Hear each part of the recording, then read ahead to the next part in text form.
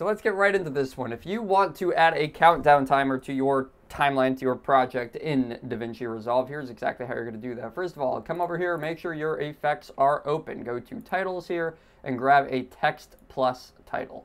I'm going to drag that onto the timeline. I'm just going to make this a little longer for right now. And the first thing you're going to do is come to this text box over here. You're going to right click and then you're going to come down to time code. That is going to give you the time code for this text box and it's just to start counting. That's what that's to do. What you're want to do here is you're going to want to make sure that right now at this step, you start styling your text to however you want it. So something I've been enjoying a lot lately for some reason is the Verdana font, font, font the Verdana font, Verdana font.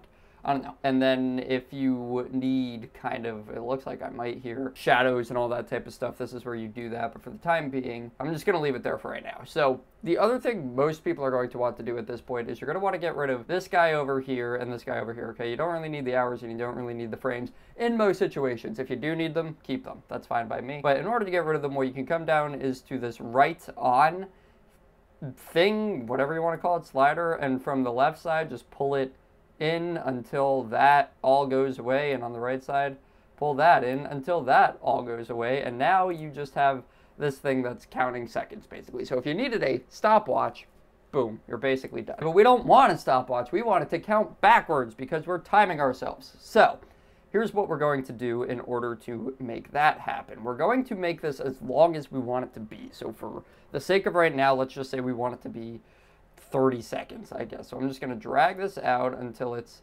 roughly, I don't know, what's this at? That's at 40. So if I go to 30 seconds, I'll actually go to 31 just to give myself a little bit of a cushion. Okay, so I want to make it exactly that long. And then what I'm going to do is I'm going to click on this, right click on it, and then I'm going to make this a new compound clip. You can name it whatever you want. I'll name it timer because why not? And then basically all you're doing at this point is just, this is where you can position it. So I can bring it down and over a little bit like this so that you can actually see it. And as you can see, it's still pointing up until it gets to, well, maybe it doesn't get to 30. No, it gets to 30.